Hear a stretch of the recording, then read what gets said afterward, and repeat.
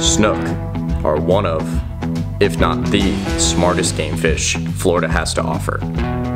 They are extremely visual feeders, so the right bait is crucial. They can throw your hook with a powerful head shake or chew through your leader with their sandpaper mouths. Their ability to find any type of structure to break you off on makes them extremely challenging. There's very few fish out there that match the challenge of landing big snook. Keep going, keep going, keep going. You can't quit. The fish ain't quitting, you can't quit.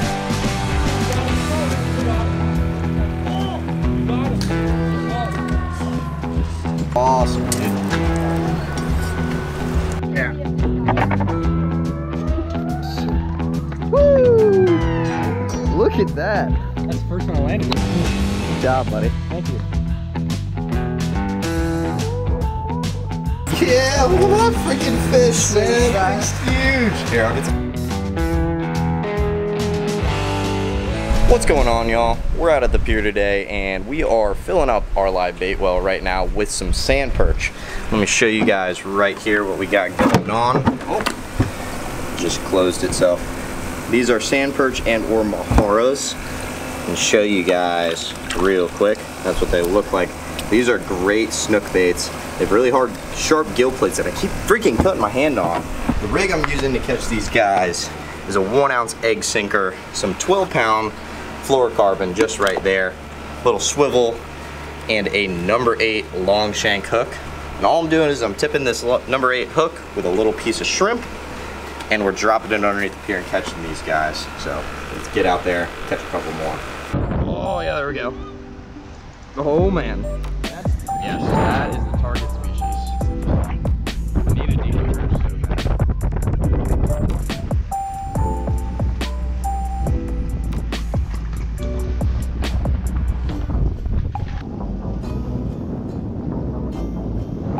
There we go. Right species.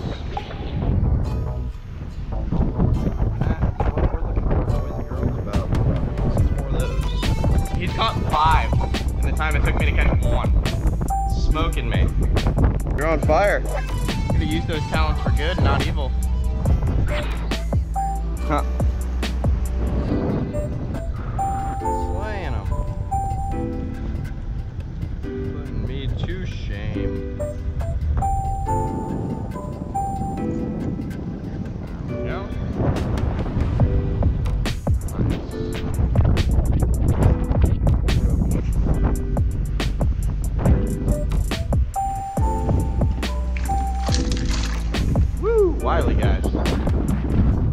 So what I'm going to be doing is I'm going to be dropping all these sand perch on a heavy conventional rod. This is an Avet LX 50 pound mainline. It's actually a little light for these big baits in my opinion, but it's what I got, so it's what we're using. I tied a bimini twist, gives me a little bit more knot strength, a little more abrasion resistance, close to the bait, close to the fish. That is just tied to a 100 pound swivel right there, and then I have some 80 pound fluorocarbon to a 6-aught J-hook. And that's what we're gonna be using. I'm gonna be hooking those sand perch right through the nose. I'm gonna be working my way up and down the pier, piling piling. We're gonna hopefully find some. We'll see. I'll get you guys on the GoPro.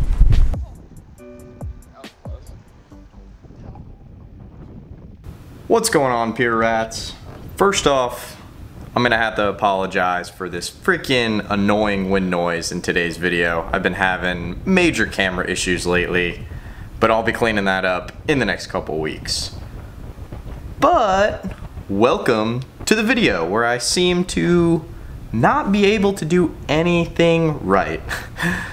this afternoon, I swear, I made every mistake in the book. I was breaking off my line, I was tying bad knots, I was putting my bait into schools of fish that didn't want to eat.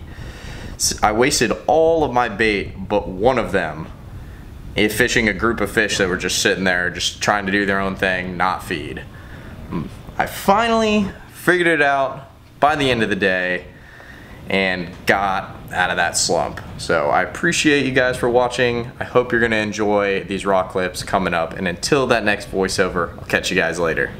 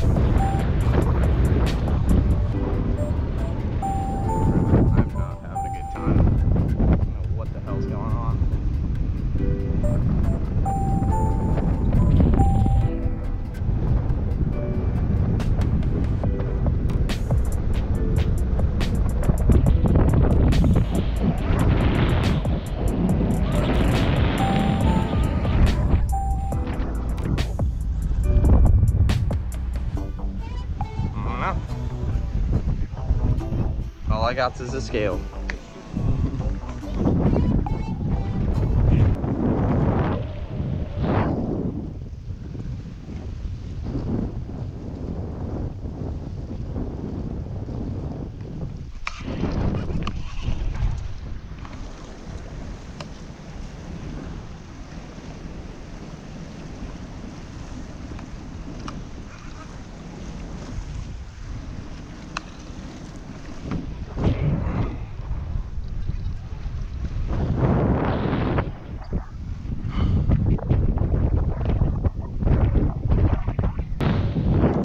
Bottom or free line? What do you guys think? I got one bait left. Free line it is.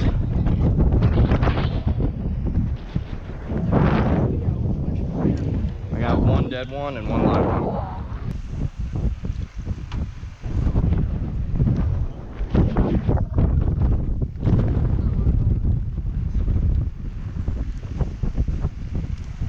See, man, it's my only shot. And of course, my braid is jacked up. What? Oh my god, bro. This has just not been my day.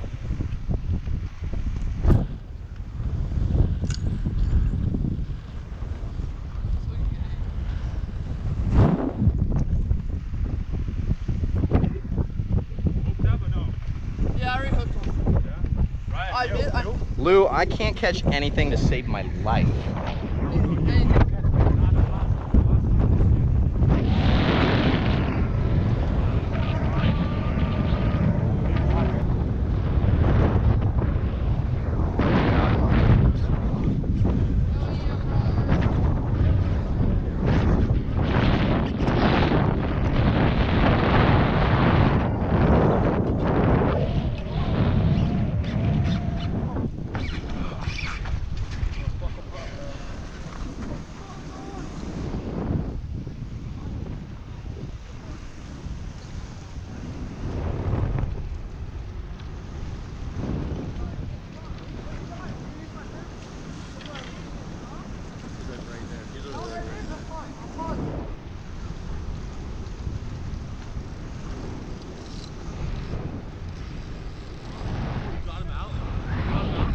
Can't tell.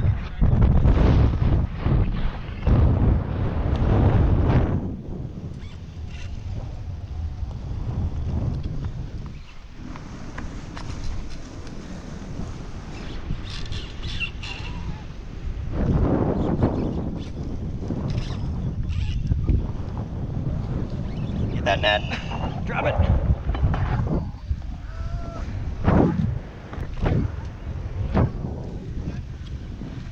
This thing kicked my ass. Yeah, I got it. I'm holding it. Yeah, I'm holding it. 18 pounder.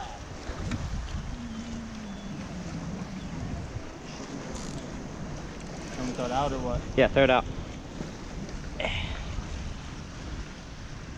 One more time. Let it go. There you go. Good form, good form. That is how it's done. There you go. Good shit, man. Appreciate you. Dude, I haven't had my ass kicked like that in a long time.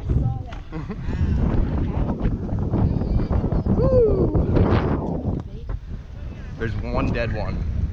Yeah, underneath that bucket in that cart. Woo. 38, 39. I ain't worried about it, brother. I appreciate it. Who say you can't catch no fish?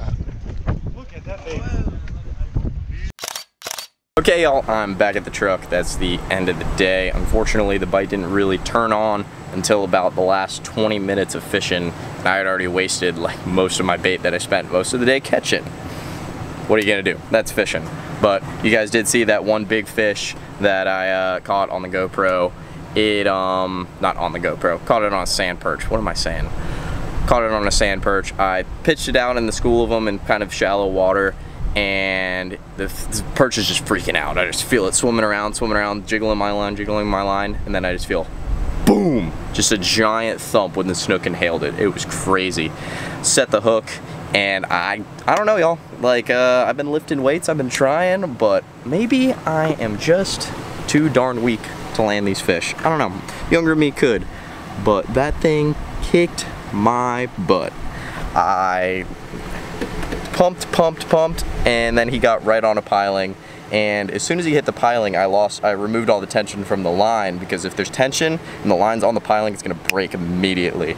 So as soon as I removed that tension, I loosened my drag and I feel the fish come off. I was able to run down and you saw I changed the set of pilings I was on and then I could pump him back up to the top and luckily my buddy was there to net him for me. So a lot of luck on my side to land that fish. Really stoked about it. Haven't landed one that big in a while. So I really hope you guys enjoyed this video. I hope you learned something. If you want to see any of the tackle I was using, check the description box. If you want to learn anything about anything, shoot me a DM, pop a comment in the section below, and I'll let you know. I appreciate you all so much for watching, and I'll see you guys in that next video.